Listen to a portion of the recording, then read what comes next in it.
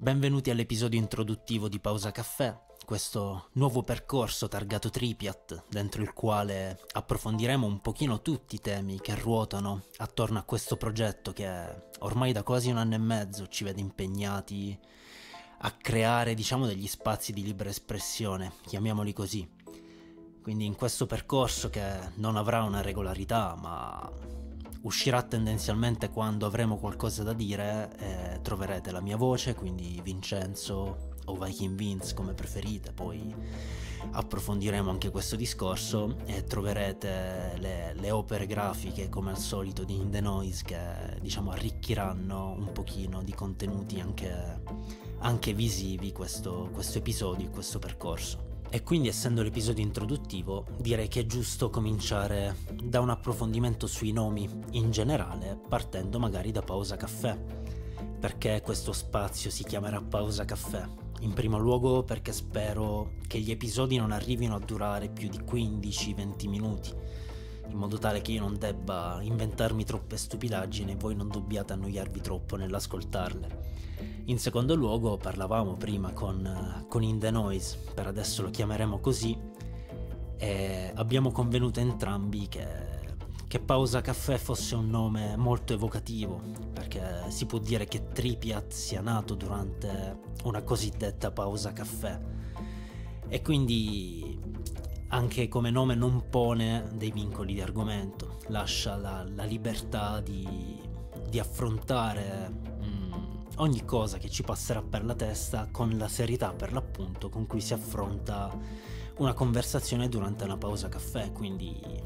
tendenzialmente con una chiave di lettura caratterizzata dalla leggerezza. E questa leggerezza sicuramente ci porterà ad affrontare dei temi sempre magari correlati a, al progetto Tripiat o magari correlati al nostro modo di pensare che non andranno presi troppo sul serio, o meglio, eh, saranno sempre delle, delle, nostre opinioni personali e il nostro modo di vedere ed interpretare il mondo che ci circonda, quindi non abbiamo una pretesa di, di dire verità assolute o di affrontare temi anche sensibili, perché no, in modo, in modo serio, o comunque in modo serio ma non assoluto. E magari in futuro invece che un monologo sarà una chiacchierata con degli ospiti. Quindi non esiste una vera e propria programmazione degli episodi e non esiste allo stato attuale neanche una programmazione dei contenuti del singolo episodio. Quindi abbiamo fissato un tema chiave per adesso e, e sto andando a braccio, credo, credo si percepisca tra l'altro. Comunque parlando di nomi vorrei affrontare un tema a cui tengo molto, che è diciamo il nome Viking Vince. Il nome Viking Vince è un nome nato per caso, coniato da, da, un carissimo amico, nonché ormai quasi fratello aggiunto, oserei dire, che lo utilizzava per prendermi in giro, approfittando della mia passione per la storia vichinga e la mitologia norrena in generale. E quindi nel momento in cui ho dovuto, e sottolineo dovuto, creare un personaggio, un alter ego o una copertura, e dopo spiegherò il perché la definisco una copertura, eh, Viking Vince è stata la scelta principale, la più immediata e la più istintiva. Tale scelta senza dubbio poi è stata consacrata dall'uscita sulle piattaforme digitali del lavoro d'esordio, quindi da Tormento Mixtape, in quanto per quel lavoro In The Noise creò un logo utilizzando le, le iniziali del nome Viking Vince che, che, secondo me è spettacolare e che ha quindi di fatto ufficializzato l'utilizzo di Viking Vince su, su tutto quello che riguarda poi la, la, parte musicale del progetto Tripiat. Però perché definisco Viking Vince come una copertura? Altro non dovrebbe essere se non un alter ego, un personaggio. Solo che io sono sempre stato contrario ai personaggi perché mi danno l'impressione di essere un qualcosa di costruito, un estraniarsi dalla realtà per recitare per l'appunto una parte. Quindi preferisco definirlo una copertura, preferisco definirlo come un agire mandato da me stesso, però in maniera occulta quindi c'è sempre Vincenzo dietro Viking Vince che altro non fa se non essere se stesso. Per essere se stessi però c'è bisogno di una copertura, per il semplice fatto che mm, esiste un conflitto quantomeno nella mia mente, nel mondo esterno non lo so, però credo di sì, tra diciamo parte razionale e parte istintiva dell'individuo, chiamiamola così. È un conflitto che mm, diciamo tende a contrapporre la, la, parte professionale della vita dalla parte, chiamiamola artistica, posto che la parte artistica non sia eh, diciamo quella che, che, ti dà da vivere. E di conseguenza c'è bisogno di una copertura per potersi esprimere liberamente, ma non perché questa libera espressione porti o rappresenti delle idee che siano proibite, parte che secondo me non dovrebbero esistere delle, delle idee proibite, però questo è un altro discorso, ma semplicemente per il fatto che è opportuno nella società di oggi, almeno secondo me, separare la parte professionale da quella che è la parte mm, di vita, diciamo, un po' più personale. In sintesi, Viking Vince agisce avendo come mandante Vincenzo, portando avanti le idee di Vincenzo indossando una maschera, perché è innegabile che una maschera ci sia. E non mi piace neanche definirlo come un alter ego, perché credo, visto che in latino andavo molto male, che alter ego significhi altro io. E io credo di essere unico in tutte le mie sfumature, in tutte le mie sfaccettature di personalità, spesso anche contrapposte l'una con l'altra. E, e quindi preferisco definirla maschera piuttosto che, che alter ego o piuttosto che personaggio. Una maschera o per l'appunto una copertura poi è ovvio che sia una copertura molto sottile, perché la maggior parte mm, della gente che magari ascolta la musica o segue il progetto Tripiat sicuramente sa chi c'è dietro a Viking Beans e sa chi c'è dietro ad In The Noise, però io credo che una distinzione anche formale sia opportuna e sia anche quasi dovuta. Mm, non dico di essere del tutto d'accordo sul fatto che dovrebbe essere così, ma sicuramente allo stato attuale è giusto che sia così. Ciò non toglie che nei testi, nelle musiche, nelle canzoni in generale troverete sempre le emozioni, i pensieri, le opinioni e le esperienze di Vincenzo, dette tramite Viking Beans. Perché altro non potrebbe essere e in altro modo non potrebbe esistere la, la musica che, che faccio. La faccio perché in primis mi piace e poi perché voglio raccontare qualcosa e come faccio a raccontare qualcosa che non sento, che non penso, che non ho vissuto. Non sono Salgari o Salgari che si è immaginato la Malesia per, per scrivere insomma la, le avventure di Sandokan. Io sono una persona comune che parla di, di quello che vive, di quello che pensa e di quello che sente. E spero continui ad essere sempre così, soprattutto quando faccio musica. Perché non credo ci sia altro modo per fare musica e non credo ci siano altri obiettivi reali nella musica se non raccontare se stessi o trasmettere qualcosa. E a proposito di, di trasmettere, credo sia arrivato finalmente il momento, dopo un anno e mezzo, di, di parlare di Tripiat, eh, di questo progetto che con In The Noise portiamo avanti per trasmettere appunto qualcosa. Non credo di riuscire a spiegarvi che cosa significhi il nome Tripiat, un po' perché è personale, quindi andrebbe contestualizzato, un po' perché è, è casuale quasi, oserei dire. Però sì, posso approfondire il contesto in cui è nato.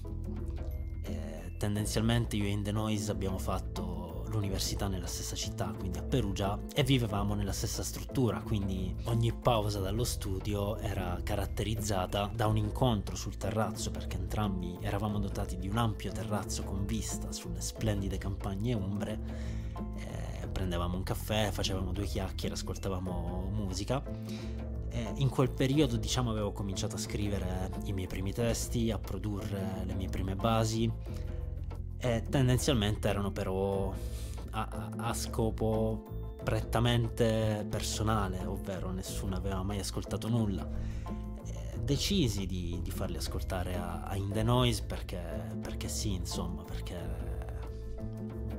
neanche sto a spiegarvi il perché, perché siamo amici e chi se non lui. E, e da lì, diciamo, si accese anche la scintilla a lui che aveva un pochino messo da parte, diciamo, il disegno e, e mi disse una cosa che ancora oggi mi fa, mi fa, molto onore, mi rende molto orgoglioso, che ascoltando magari la, la mia musica aveva voglia di, di disegnare. E quindi tendenzialmente è nato, diciamo, questa collaborazione nel dire io registro e faccio musica e tu intanto nel frattempo disegni. E quindi ci trovavamo e, e portavamo avanti ognuno la, la, propria arte. Fino al giorno in cui mi pressò eh, parecchio per, per, pubblicare qualcosa. Tendenzialmente non, non ci volle molto per per convincermi perché in fondo sono, sono anche abbastanza egocentrico e mi fa sicuramente piacere ricevere l'approvazione di altri, anche se ovviamente non è il motivo e lo scopo principale per cui si fa musica, come dicevo prima, perché veramente sarebbe un fallimento secondo me dell'essere umano fare qualcosa soltanto per piacere agli altri, ma questo è un discorso che magari affronteremo più in là, anche il discorso legato a ad Instagram, al creare hype e a tutte queste altre, secondo me, stupidaggini, perché ovviamente fa piacere quando la, la propria musica o la propria opera viene ascoltata o viene vista e viene apprezzata, ma se si fa solo in ragione di quello, secondo me perde un po' di significato. Quindi tendenzialmente ecco, questa collaborazione ha preso il nome durante una sera in cui stavamo semplicemente ascoltando musica, facendo musica o disegnando, prese il nome di Tripiat. Questo nome poi si è consolidato nel tempo. Io dopo poco mi ricordo partì per l'Uruguay per fare tre mesi di esperienza in Uruguay e quindi comunque anche a distanza ci sentivamo, portavamo avanti diciamo le nostre opere, portavamo avanti lui i disegni, io in quel periodo più i beat, più le produzioni musicali che, che i testi, anche se devo dire che in Uruguay ho scritto gran parte di, di Tormento Mixtape, però sempre in stretto contatto con In The Noise, quindi tendenzialmente Tripiat andò sempre più consolidandosi fino a divenire quello che è oggi, che è comunque un qualcosa che è ancora sempre in, in, in mutazione, si evolve. Eh, pausa caffè probabilmente è l'esempio più lampante del fatto che siamo sempre alla ricerca di nuovi spazi e nuovi modi per, per esprimerci. Poi non è da sottovalutare il fatto che sia un ottimo pretesto per, per continuare a, a, stare in contatto, anche se ovviamente staremmo in contatto lo stesso anche se Tripiat non esistesse però in questo momento ci troviamo non solo in città diverse ma in nazioni diverse, quindi sicuramente avere un progetto comune da portare avanti favorisce senza dubbio la comunicazione e la collaborazione. Detto ciò, io credo che sia arrivato il momento di chiudere questo episodio introduttivo di Pausa Caffè. Devo dire che mi sono molto divertito registrandolo, specialmente nella seconda parte ci avevo preso gusto quindi senza dubbio ci saranno degli altri episodi, a prescindere dal riscontro che si avrà negli ascolti, perché insomma l'ho detto prima, eh, l'importante è sempre divertirsi, l'importante è sempre esprimersi, l'importante è sempre valorizzare anche il tempo libero che si ha, perché non esiste solo la, la vita professionale che è comunque importante ed è qualificante, ma esiste anche la vita che io definisco vera che è quella in cui ognuno riesce ad esprimere e a caratterizzare, a dare una direzione alla propria vita. E aggiungo un'ultima cosa sul progetto Tripiat perché mi sono reso conto di volerla dire e non ho voglia di rifare l'ultima parte di registrazione.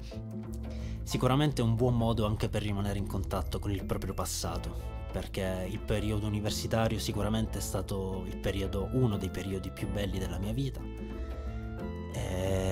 quindi credo che continuare un progetto avviato in quegli anni sicuramente non riporta indietro tutto, non fa viaggiare indietro nel tempo, ma sicuramente aiuta a rimanere un po' ancorati alle idee e alle sensazioni che si provavano durante quel periodo. E quindi anche diciamo l'aspetto malinconico non è da, da sottolineare, quindi nulla. Con questa frase pseudo filosofica, pseudo malinconica io vi saluto Spero di non avervi annoiato troppo e ci vediamo al prossimo episodio di Pausa Caffè.